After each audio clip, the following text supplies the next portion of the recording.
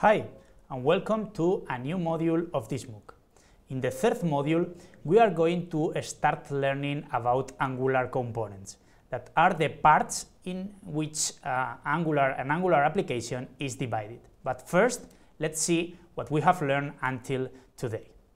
In the previous module, we learned uh, the basis of Angular, including a brief overview of the architecture, the main parts that compose an Angular architecture.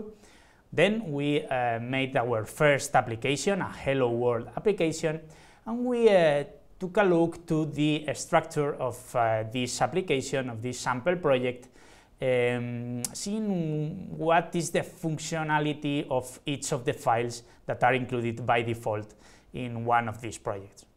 To finish the uh, module, the previous module, we started learning TypeScript, the language we are going, the programming language we are going to use during the next of, uh, during the modules of Angular framework.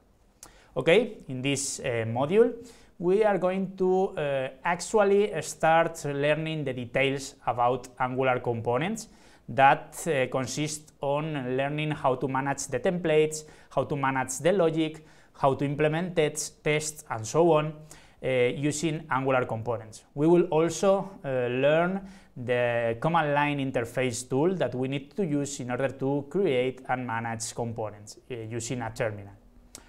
Then uh, a very important part of this module is uh, to learn how to interact between components because as you can imagine, in a complex application, in a complex application, there will be more than uh, a single component. So we will have to uh, share information between components.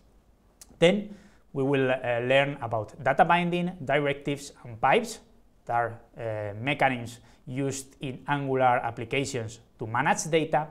And we will finish with the implementation of our first complex application using Angular that consists on a very basic uh, chronometer application.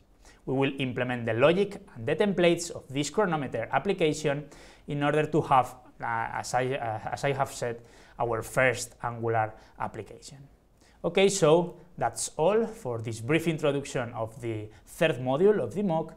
See you in the next video. Bye.